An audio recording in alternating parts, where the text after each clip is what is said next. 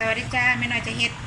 ลิ้นเป็ดผัดผักกาดดองนะคะ ลิ้นเป็ดผัดผักกาดดองก็เอาผักกาดดองเท่าซื้อมากนะคะ มาต้มก่อนเนาะเพราะว่าบ่รู้ว่าจะมีสารอย่างแน่ตออย่างแน่เนาะเขาดองมาแบบใดเขาบ่ได้ดองเอง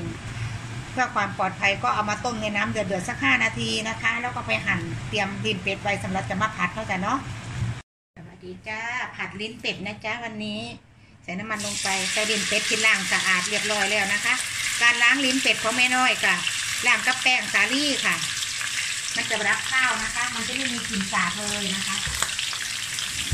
ใส่น้ำมันลงไปหลายแน่จังน้อยเพื่อที่เขาจะผัดลิ้นเป็ดหรือว่า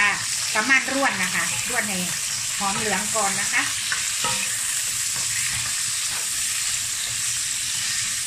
กลิ่นทอดก็ว่าได้เนาะ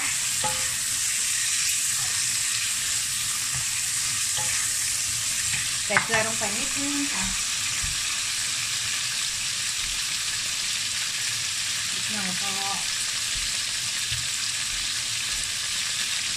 อันนี้ลิ้นเป็ดผัดผักกาดดองนะคะเดี๋ยวเขาจะผัดไปเรื่อยๆจนมันได้ทีน่ากินแล้วเราค่อยจะใส่ผักกาดดองลงไปนะคะเนี่ยเริ่มเหลืองน่ากินแล้วจ้ะเราจะเอให้เหลืองกว่านี้ก่อนเนาะ เสียงติแตกปกเป๊กปกเป๊กแน่เพราะว่าน้ำอยู่ในลิ้นเป็ดนะคะ ออกมานะคะ แล้วก็ที่ตรงกระดูกอ่อนมันนํนะคะมันก็จะแตกต้องแปงต้องแปงสักนิด ถ้าเขาค้นเรื่อยๆกันก็จะโอเคอะค่ะ มันจะบ่แตกแต่เห่านะคะ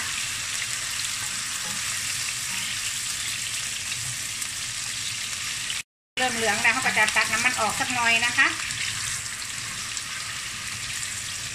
พอเริ่มเหลืองจะกรอบนิดนึงจ้าก็จะตักน้ำมันออกแล้วก็จะใส่กระเทียมลงไปนะจ๊ะ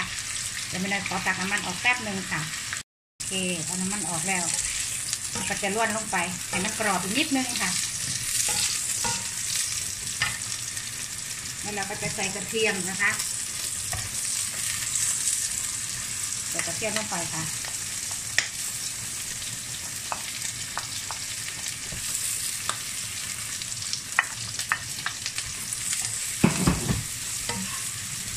หอมมากมายเลยค่ะพี่น้องจ๋าล้วนกระเทียมให้หอมเหลืองอีกรอบนึงค่ะ ขั้นตอนนี้ใช้ไฟกลางนะคะ แต่ตอนทอดใช้ไฟแรงนะคะใจเย็นๆนะจ๊ะ ให้กระเทียมหอมเหลืองก่อนไม่ต้องรีบร้อนนะจ๊ะน่ากินมากเลยพี่น้องเอ้ย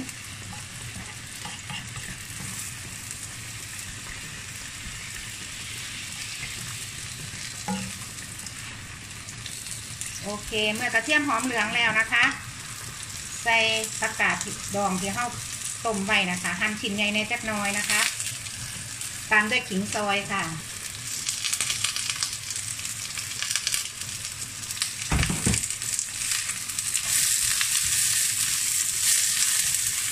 น่ากินนะคะปรุงรสค่ะก็ปรุงรสนะจ๊ะ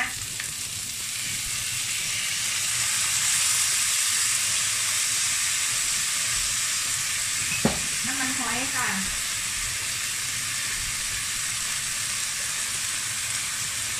โอ้โหหากินมากมาย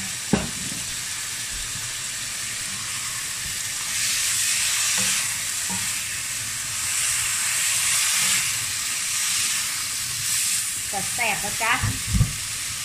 น้ำตาลทรายจ้ะ ออกหวานเข้มนะคะ หรือว่าถ้าจะเอาเข้มหวานก็ได้ อันนี้ขึ้นอยู่ที่ความชอบของใครของมันเนาะ ตามด้วยผงชูรสค่ะ เรียบร้อย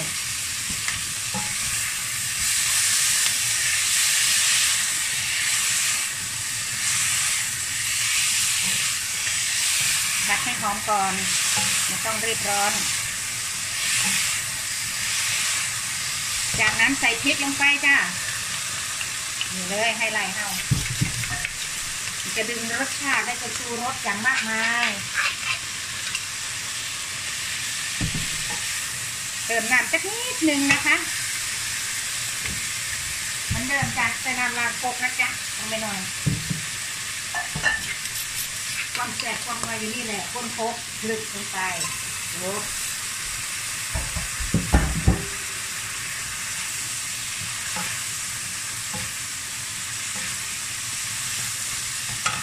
ลมแห้งๆค่ะค่ะ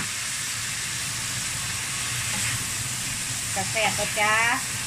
ผัดอีกไปสักนิดนึงค่ะผัดให้น้ำแห้งๆจังหน่อยนะคะ ชิมค่ะ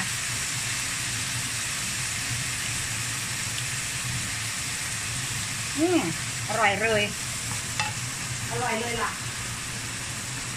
ต้องเอาน้ำมันหอยนิดเดียวได้เลยค่ะ โอเค จากนั้นเราก็จะใส่ ต้นหอมเนาะค่ะ แต่ว่าเขารวนอีกนิดนึงค่ะใจเย็นๆนะจ๊ะเรียบร้อยใส่ต้นหอมลงไปนะคะใส่ต้นหอมลงไปกับปิดไฟได้เลยค่ะ กินกับข้าวเจ้ากับแซ่บกินกับข้าวต้มกับแซ่บนะจ๊ะเมนูนี้ เดี๋ยวกลับใส่จานให้ดูนะคะ เสร็จแล้วเรียบร้อยจ้าสำหรับลิ้นเป็ดพัดผักกาดดองนะคะ เมนูง่ายๆแต่รับรองว่าอร่อยชัวร์เนาะค่ะลองไปเห็ดเบิงเด้อค่ะเด้อหนึ่งความรักหนึ่งปรารถนาดีค่ะด้วยรักจากใจนะคะ รักนะจุ๊บๆ